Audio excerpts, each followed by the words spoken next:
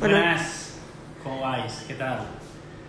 Bueno, vamos a esperar a que venga un poco de gente y eso, ya, los que vais entrando, eh, que ya sepáis del evento, bueno, decid de dónde, de dónde sois, de dónde venís, eh, cómo, cómo, qué os gusta de las legumbres, qué conocéis de la fermentación de las legumbres, que ya habréis aprendido mucho durante estas, estas semanas aquí.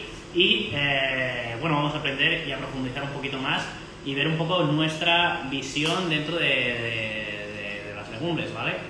Eh, mi nombre es, eh, bueno, mientras, mientras va entrando gente, voy a empezar a presentarme poco a poco, ¿vale? Entonces, mi nombre es eh, Rubén Ruiz y soy cofundador de una empresa afincada aquí en Barcelona que se llama Lo Ferments. Eh, Lo Ferments es una empresa dedicada a la fermentación en el sentido más amplio. Siempre nos gusta decir que vino y cerveza es de las cosas que no hacemos, hacemos todo lo demás. Eh, somos expertos en fermentados y bueno, tenemos varios pilares. Por un lado es toda la parte de formación, donde formamos a todo tipo de restaurantes, coctelerías, eh, ingenieros, sommeliers, todo tipo de personas que le guste la fermentación y que quiera trabajar con la fermentación como herramienta. Entonces, ¿sí? Sí, me está diciendo que todavía está- se están conectando. Ah, vale, vale, perfecto. Bueno, ahora empezaremos. Mm. Bueno, sigue. Bueno, bueno. A ver, a ver. Yo creo que... Creo que sí, estoy mirando. Sí. A ver, a ver si hay gente. Saludad a todos, decir vuestro de dónde venís, de dónde sois. Mira si está conectado porque es que no... Me parece un poco raro. Que todavía me está diciendo que se está conectando. Ah, ya está. Ya está, ya estamos conectados. Perfecto. Perfecto. Perdón que te corte en pleno... Ah, no, no, no, que va. Adelante. Bueno, para todos los que estéis aquí, decid de dónde venís, eh, qué conocéis de las legumbres, qué conocéis de la fermentación dentro de las legumbres, que seguro que habéis conocido mucho durante, durante días, durante estas semanas, este mes de la fermentación aquí. Eh, entonces, nada, hoy es mi turno y bueno, vamos a aprender a fermentar las legumbres de maneras un poquito más distintas o menos ortodoxas de lo que hemos aprendido eh, en estas últimas eh, semanas, como eh, bueno, con, grandes expertos como Madre Condiments, María José, con, con Joaquín. Entonces, bueno, vamos a, decir un poco lo que hacemos, quiénes somos nosotros, ¿vale? Siempre, para todos aquellos que no nos conozcan, en nuestro canal Love, eh, Love Ferments en YouTube y en Instagram, siempre cuando hago vídeos eh, me gusta el beber y el empezar con, eh, con una bebida diferente. Entonces, esta de aquí es un banana wine, ¿vale? Es un banana wine, es un vino de plátano y azúcar que hemos fermentado alcohólicamente. Entonces, simplemente nosotros lo que hemos hecho aquí es eh, fermentar plátanos, agua y azúcar durante tres días con un poquito de levadura de pan y ahora ya lleva una semana y tiene un sabor eh, muy avainillado, a cerveza, cerveza de trigo y aproximadamente ahora tiene unos 3 grados alcohólicos y es una bebida eso de baja graduación fantástica para un día caluroso. Pero hoy vamos al grano, aquí hemos venido a hablar de legumbres. Entonces, eh, nos presentamos un poco. Mi nombre es Rubén Ruiz, soy cofundador de Lo Ferments. Lo Ferments es una empresa dedicada, afincada aquí en Barcelona y dedicada al mundo de la fermentación.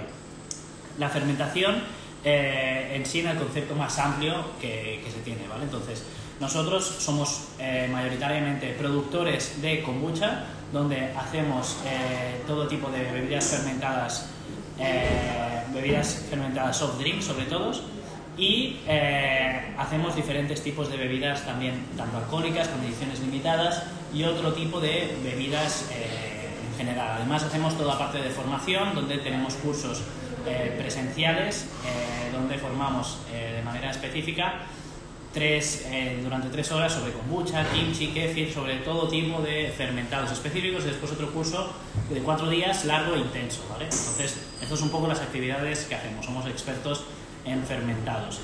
Entonces, eh, nosotros lo que nos gusta hacer, pues esto, fermentar, y lo hemos fermentado todos y de diversas maneras. Nosotros hablamos y siempre decimos que la fermentación no deja de ser un tipo de conservación, ¿sí? Un- una conservación ancestral, de manera completamente ancestral, que hemos ido eh, perfeccionando poco a poco.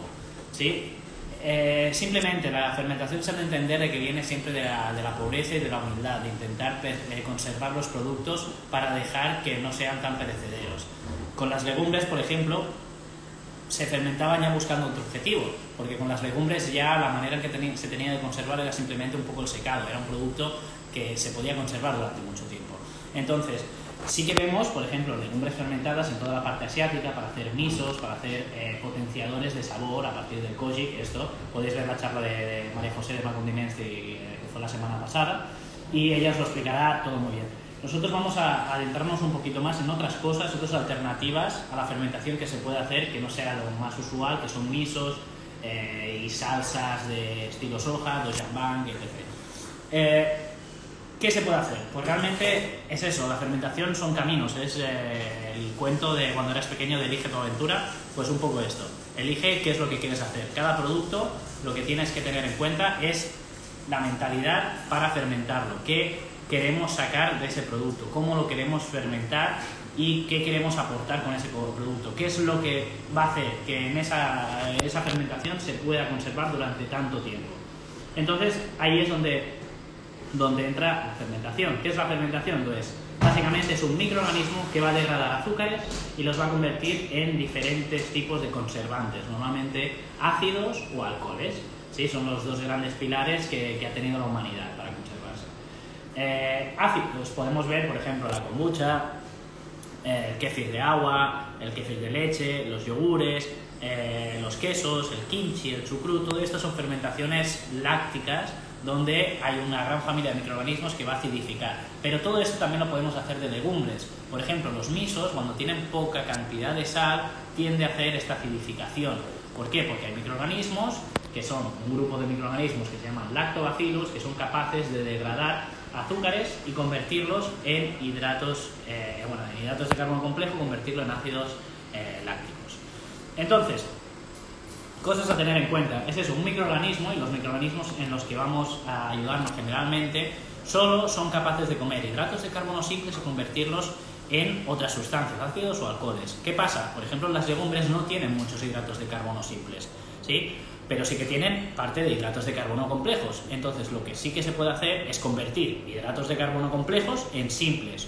¿Cómo? Pues a través de diferentes enzimas y diferentes métodos que alrededor del mundo se han ido formulando. ¿sí? Entonces, una de ellas sería el malteado, aunque es poco, eh, poco productivo las legumbres. ¿Qué es el malteado? Es dejar brotar un, eh, un grano normalmente de cereal. Ese grano de cereal lo que hace al brotar es empezar a sacar unas enzimas para su propia naturaleza, para, eh, para poder crecer. Está rompiendo su propia estructura, ese grano, y está convirtiéndolo en unas cosas más simples para obtener energía y poder crecer. ¿Sí? Al final un grano de cereal lo que hace es compactar esa energía y convertirla en hidratos de carbono complejos. Entonces, lo que nosotros eh, hacemos con ese malteado, que es como se hacen las cervezas, es romper estos hidratos de carbono complejos y convertirlos en simples para que después un microorganismo pueda producirlo en alcohol. ¿vale?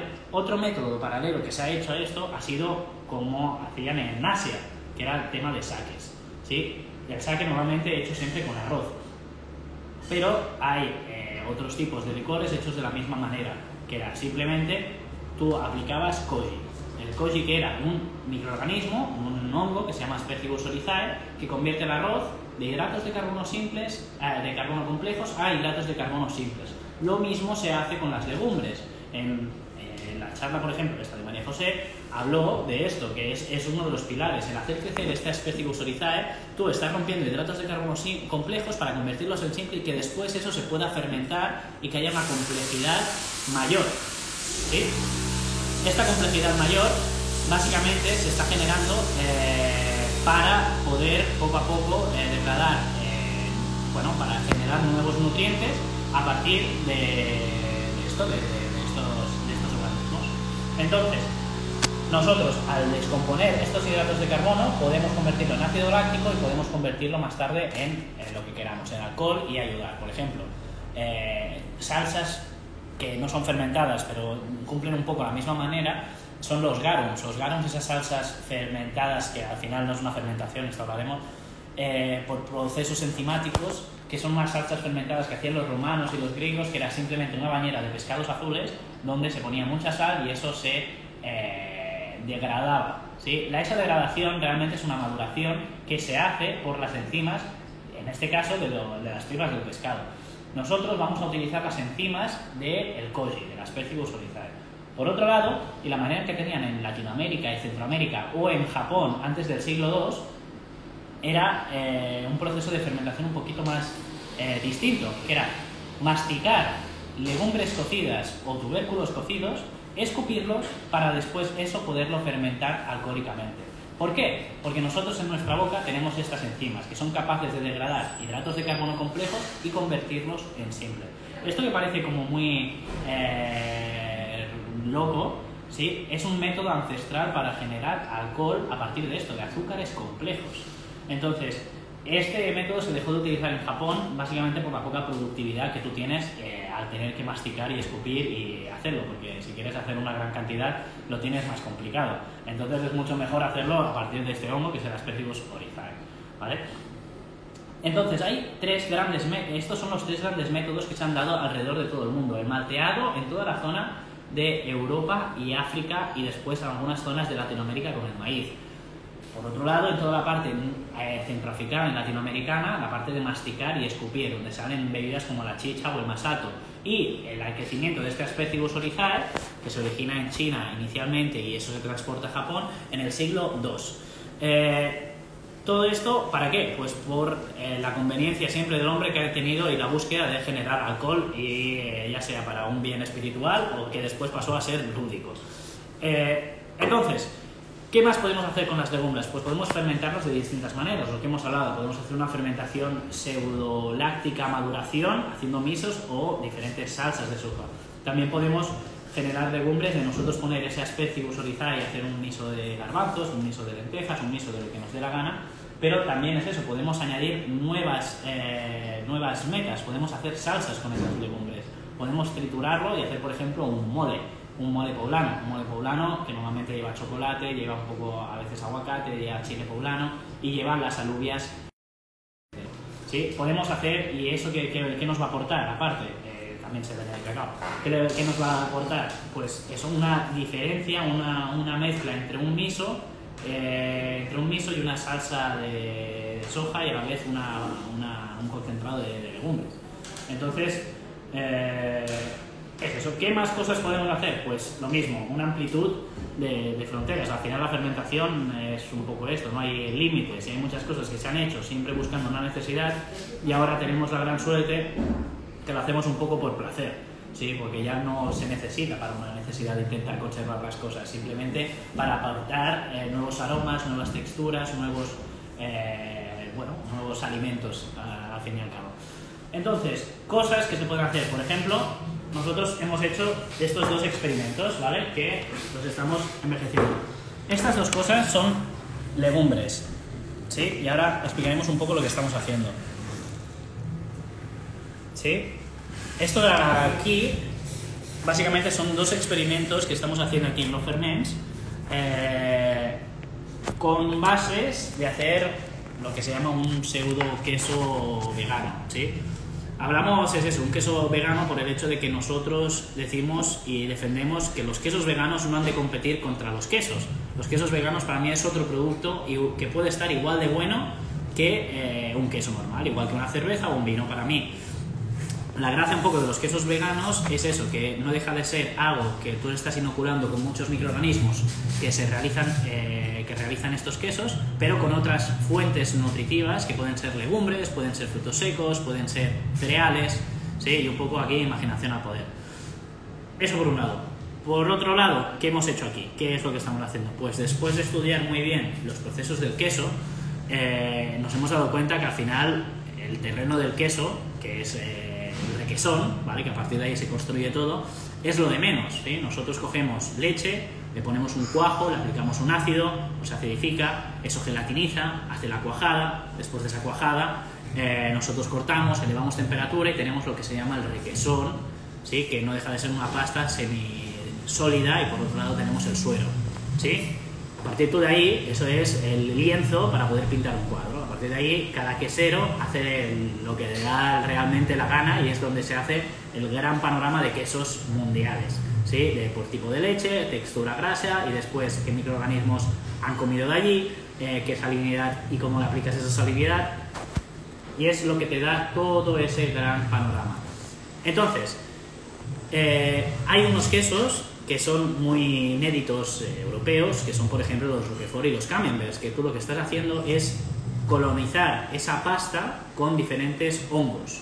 ¿sí? Estos hongos lo que van a hacer es colonizar por, bueno, toda, toda, toda la parte superficial. ¿Por qué? Porque hay oxígeno. Si hay oxígeno, eh, estos hongos lo único que necesitan realmente para crecer es la temperatura óptima, oxígeno y humedad. Entonces nosotros hemos hecho con diferentes pastas de legumbres eso. ¿sí? Por ejemplo, en este caso, que es el que queremos crecer, este penicillium, ¿vale? Hemos hecho una mezcla de penicillium de Camembert y otro penicillium de, de Roquefort, ¿vale? Entonces que crezcan de manera paralela. ¿Por qué? Porque como no podíamos asegurar muy bien las temperaturas donde estaban, porque nos eh, lo hacemos a nivel ambiental para tener más amplitud de crecer. ¿Veis? Sí, aquí- bueno, no se puede ver, pero aquí están saliendo ahora unas esporas que es de este Camembert. ¿Sí? Al final, ¿qué es esto? ¿De qué es esta masa? Pues eh, donde le hemos hecho crecer esto, pues es- no deja de ser un humus de garbanzo. Esto es el típico humus de garbanzo, ¿vale? Garbanzo hidratado, previamente, eh, previamente hidratado, luego cocido, cuando está eh, incluso un poco pasado, lo que hemos hecho es añadirle tajín, y aquí parte vital, bastante aceite de oliva. Bastante aceite de oliva, normalmente un 20 o un 30% del peso. ¿Por qué? Esto es muy importante porque nosotros lo que queremos es imitar eh, un poco la parte nutricional del queso para que tenga una textura similar. ¿Por qué? Porque un queso sin grasa, si tú lo dejas secar, queda completamente eh, bueno, seco. Seco, seco, que es que es, que es madera. ¿Sí? Entonces, por eso mismo, nosotros, por ejemplo, en diferentes pruebas que hicimos de simplemente un puré de garbanzos triturado y que le hicimos eh, crecer esto, el camembert creció súper bien, pero al cortarlo no era sedoso. ¿Por qué no era sedoso? Se había convertido como en una harina. Pues ¿por qué? Porque básicamente lo que ha hecho esto es deshidratarlo y además hemos tenido temperatura ambiente para deshidratar. Ahora estamos en fase de deshidratación. Para nosotros ya lo hemos hecho crecer suficiente, ¿vale? Que ha estado durante una semana creciendo por los dos lados y ahora lo que estamos haciendo es poco a poco deshidratándolo. Si vemos por aquí, está mucho más verdoso, que ha crecido mucho más el, el Roquefort, mientras por aquí hemos hecho crecer más el Camembert. ¿sí? Entonces, básicamente lo que vamos a hacer ahora es poco a poco que se vaya secando. ¿sí? Esto le hemos dado la vuelta y iremos... ¿Para qué? Para que quede una pasta un poquito más concentrada. ¿Sí? Y es brutal el olor. Porque huele a queso total, huele a, a- a cueva, huele a Roquefort, vamos, en el estado más puro de la palabra. ¿Sí? que- Fantástico. Lástima, lástima es que- que no lo podemos oler, ¿eh? Sí. Encima es eso, es que sabe a humus, total, por dentro. Y te da una salinidad muy prolongada. ¿Sí? Entonces, aquí debemos protegerlo toda esta pasta en una fase inicial para que no se contamine. ¿Cómo lo hacemos? Pues lo mismo que el chucrut o el mismo que un kimchi o que una fermentación láctica más genérica, que es con sal. La sal ayuda a estos microorganismos a abatirlos y que solo crezcan lactobacilos. ¿Sí? Lo bueno que tiene esto es que como no tiene muchos hidratos de carbono simples, no va a refermentar muy mal. ¿Sí? Lo que sí que tenemos que tener en cuenta son los hongos, que poco a poco van a ir creciendo. Pero los hongos siempre van a crecer de manera externa eh, porque necesitan oxígeno. ¿Sí? Os invito a todos que nos veáis también en, en nuestro canal de, de YouTube, en Lo Ferments, y en nuestro Instagram, donde colgamos también diferentes recetas eh, fermentadas eh, cortas, eh, muy fáciles de hacer en casa. ¿Sí? Por otro lado, ¿qué hemos hecho aquí? Pues eh, hemos cogido judías, judía blanca, y hemos hecho un típico plato catalán, ¿sí? Que aquí le faltaría butifarra, que es ponerle ajo, aceite y triturarlo, ¿sí? Las monchetas a maioli, típico. Entonces, aquí lo que estamos haciendo y lo que queremos hacer es un curado. Hemos puesto bastante aceite simplemente para que, porque el aceite lo que no va a hacer es dejar que crezcan estos hongos, ¿sí? Es muy, muy graso. Lo que queremos es que poco a poco ese aceite se vaya eh, externalizando y como está tan cubierto de aceite, lo bueno es eso, que nunca nos va a crecer estos hongos. Y es lo que buscamos, que sea una pasta muy fácil de cortar y que sea, eh, al final no deja de ser una emulsión de judía con, eh, con ajo y aceite. Y ya está, y esto secado. ¿Qué le hemos puesto a lo mismo? Eh, un 2% de sal y muchas veces lo que podemos añadirle es un poco un starter. Un starter, ¿qué quiere decir eso? Pues algo para inhibir que los microorganismos vayan a crecer inicialmente. ¿Sí? En este caso le hemos puesto un chorrito de kombucha y en el otro un chorrito de kefir de agua.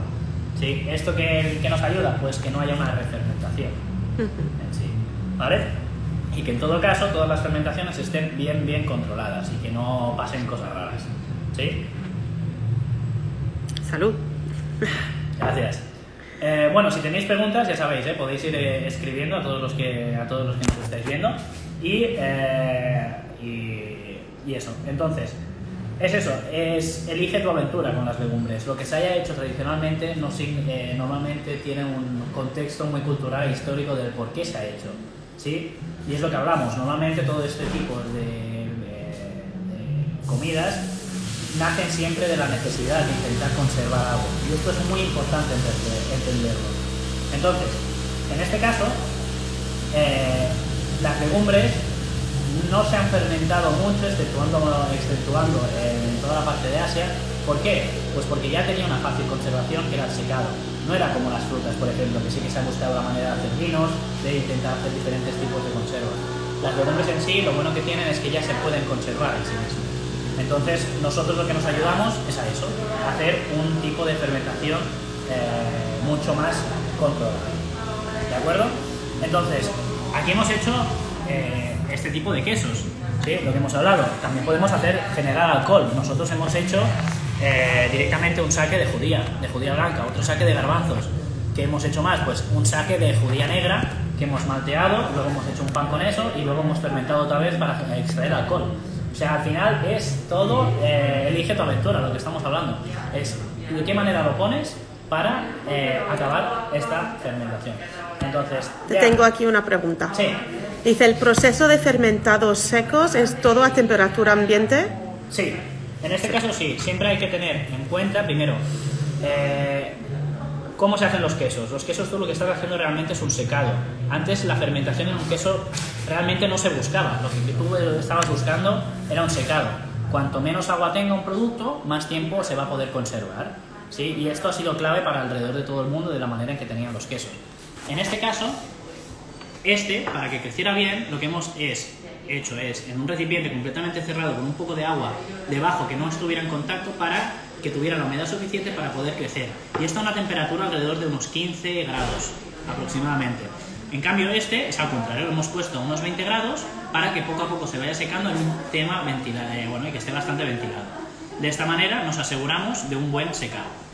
¿sí? Siempre es importante, igual que los embutidos, hacer un embutido de un queso es prácticamente igual. Es intentar secar algo y de paso, entre medias, pasas por una fermentación. ¿Sí?